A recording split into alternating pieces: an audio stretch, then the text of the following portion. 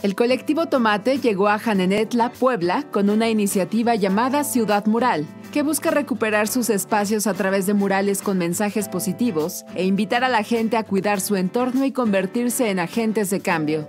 En Xanenetla eh, hay 78 murales que han sido realizados en cuatro etapas y estamos haciéndolos desde el 2009.